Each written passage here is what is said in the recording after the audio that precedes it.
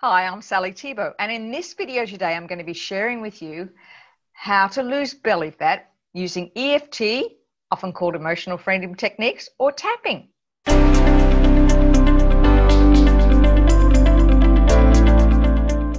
You know, a number of years ago, a very dear friend of mine introduced me to this strange methodology called emotional freedom techniques, or EFT, or tapping. Now, let me say, when I first saw it, I was not having a bar of it. It was the stupidest thing I'd ever seen. How on earth could tapping on your face do anything? But I'm so glad she persisted because after a session with her, everything changed. So much so, I went on to become an EFT practitioner and then an EFT master trainer. So, what is EFT? Well, if you've never heard it before, it is an evidence based energy psychology technique that blends cognitive behavioral therapy with tapping on acupressure, acupuncture points around the body. Now, you know, if you have acupuncture, how the acupuncturist finds the meridian points in the body. Well, the same thing with EFT. In fact, it's just without the needles. And how does it work? Well, EFT has been proven in numerous studies to reduce cortisol. And as we talked about in the last video, cortisol is produced when we're stressed, and that has huge ramifications for belly fat. So, by using EFT, what you do is lower the cortisol levels. How does it work? Well, the limbic system of the brain is responsible for our memory center.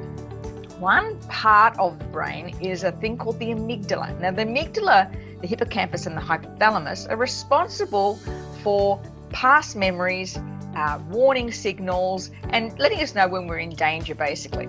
So, for instance, if you were a year eight at school and you fell over and hurt your knee and everybody laughed, that story still sits in the amygdala because you felt embarrassed and vulnerable. And so, as an adult, maybe you've been asked to speak, speak publicly, but immediately you feel that rush of cortisol, your palm starts to get sweaty, you feel nervous, and you just can't get your point across. That's the amygdala, rem- reminding you of that story. Now, you may say, well, what's the point? I mean, surely as you move from childhood to adulthood, you let those things go. Well, in fact, no, because the amygdala's role is to keep you safe. If you were two years old, put your hand on a hot stove and burnt your fingers, it's the amygdala's job to remind you the next time you put your hand close to a stove, it might hurt, so you pull it away. However, the amygdala doesn't know the difference between past, present, and future. It just keeps playing out the same response whenever you're placed in a situation where you feel in danger or in some part type of vulnerability.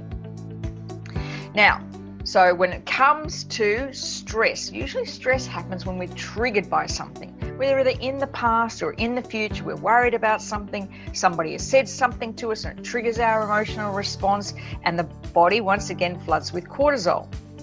Now, we talked about dispositional mindfulness in the last video. How it's really important to stay in the present moment, and studies have shown that those who do that are more likely to lose more belly fat. So, tapping helps you do that. It helps you stay in the present moment. It helps you release the stress. So, quite simply, when you release the stress, you're able to make better choices. And when you make better choices, your body responds. As we talked about in the intuitive eating part, that's how that all works and comes together. Because most people eat for a, an emotional reason, not a physiological one, especially if you are a dieter. So, in the next video, I'm going to share with you a tapping script how to use EFT to help you reduce that belly fat. And also a reminder to click to subscribe and ring the bell because to let you know when the next video is up. And also, please leave me a comment. I'd love to know. Have you ever tried EFT? Does it work for you? Or if you haven't tried it, were you willing to give it a go? And I'll see you in the next video.